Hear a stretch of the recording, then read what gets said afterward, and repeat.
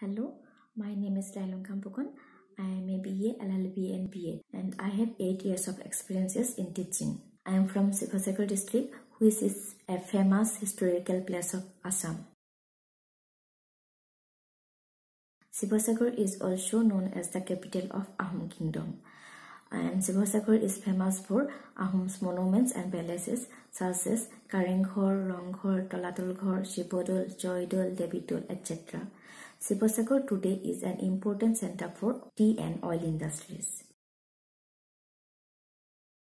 Uh, and I am an assistant teacher of Telpani Adarsha ME School under Nazra Educational Block. Uh, my school is situated at Telpani Adarsha village in Namti and there are 41 students and 7 teachers in our school. One of my problems that I face is that the lack of interest of our students in learning English language. As my school is situated at a very rural, rural area, all of our students are from rural background and they are not familiar with English. They think it as a tough subject and avoid it. But it is essential to have the knowledge in English language. Uh, and very fortunately, I get the chance to be a part of this wonderful ZIIEI training program. I have learned from this training program how to teach my students joyfully and how to get the, uh, their learning outcomes with zero investment. Uh, then I get ideas how to develop their critical thinkings and introduce them with life skills. From Innovative Pathshala, I have got many innovative ideas which I implement in my school and class. Then I learned many activities from this training program. What is in the picture, where am I, are some very interesting activity for our students. Then grid game. Grid game is one of the best interesting and joyful activity for our students through which we can evaluate our students understanding of the competency.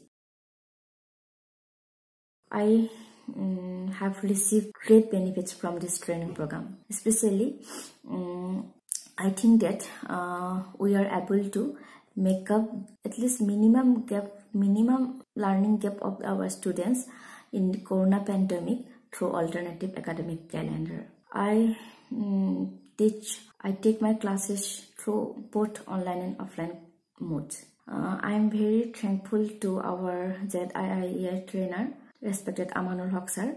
Uh, he gives us support and helps a lot in every training session. Then, as I mentioned earlier about my problem, uh, I always try to do my best for improvement of our students. I use many methods and my experiences for their improvement. Uh, I use um, such methods uh, such as rhymes, uh, singing rhymes with action, recitation, storytelling, picture reading, conversation, story writing through pictures, word formation game, mind mapping game, etc. Then uh, developed in our school a brain-rich environment. Uh, besides, in morning assembly, we provide a session for our students speaking English skill development.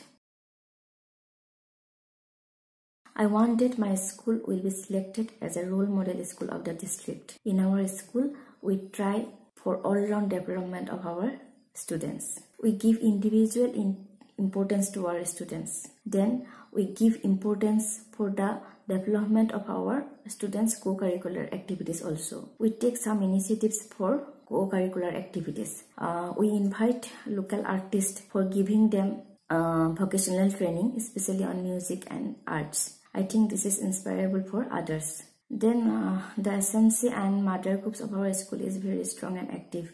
Mother groups help us uh, conducting Saturday club also. Uh, then the relationship between teachers, parents and learners which is very essential for a success teaching learning process. Uh, in our school, the relationship among teachers, learners and parents is very strong and is a very good relationship there. I think I want that my school must be selected as a role model school of the district. Lastly, I would like I would like to give my thanks to uh, Sri Aurobindo Society uh, for give me this platform. Then HDFC Bank also for give us this support.